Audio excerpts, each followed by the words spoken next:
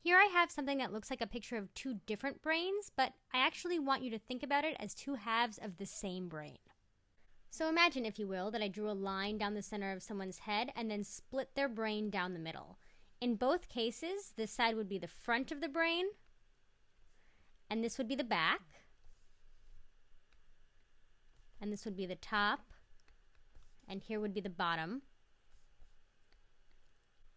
And let's say that this person was looking at you when we peeled their brain in two. In that case, this would be their left side of their brain, and this would be their right side. The first thing you might notice looking at this brain is that the sides are basically identical. And that is absolutely correct. For the most part, the two sides look physically identical to one another. But even though they look identical, for a great majority of people, the two sides of the brain actually do different things. And we're going to talk a little bit about that.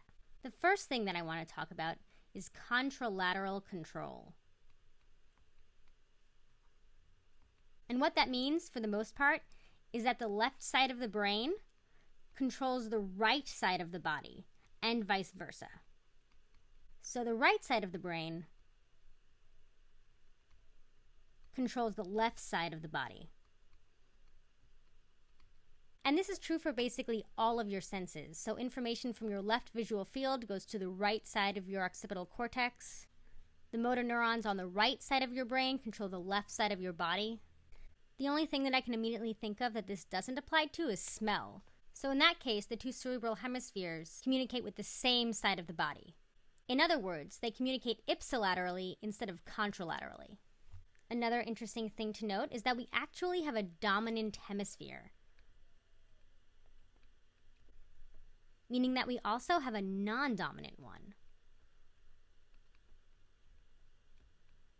And because we know that the brain communicates contralaterally with the body, the dominant hemisphere is typically the one that's opposite of the hand that we write with. So people who are right handed have a tendency to be left brained and vice versa. But because being right handed is so dominant, this means that the left hemisphere is the dominant hemisphere for the vast majority of people. Although handedness is the easiest way to identify our dominant hemisphere, the dominant hemisphere is actually responsible for a lot more than that. One thing that we find in the dominant hemisphere, which is typically the left hemisphere, is language. Specifically, an area called Broca's area, which is responsible for speech production, and Wernicke's area, which is responsible for comprehension, are both located in the dominant hemisphere.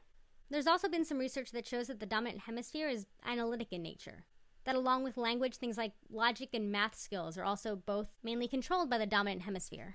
The non dominant hemisphere, typically the right hemisphere, has a less prominent role in language, but it is responsible for many other tasks. For example, the non dominant hemisphere plays an important role in understanding the emotional tone of language.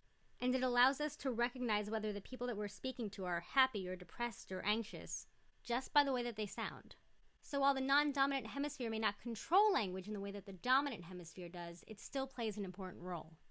Research has also implicated that the non dominant hemisphere may play an important role in things like creativity and music and spatial processing. There's also been some evidence that shows that the non dominant hemisphere helps us pull together big picture concepts. I do want to take a moment to note before we go any further that it's really easy to get carried away with this left brain, right brain thing. I've seen a lot of things on the internet that say, hey, take this quiz and it'll show you if you're left brained or right brained, and it doesn't really work like that. The vast majority of people have a dominant and a non dominant hemisphere, and we use both of them. There's not really a way to tap into one over the other. So you need to be really careful in how you interpret this information. One last thing you might be wondering about is that if we have two different cerebral hemispheres, how do they talk to one another? How do they communicate? And the answer is that they communicate through a large band of fibers known as the corpus callosum.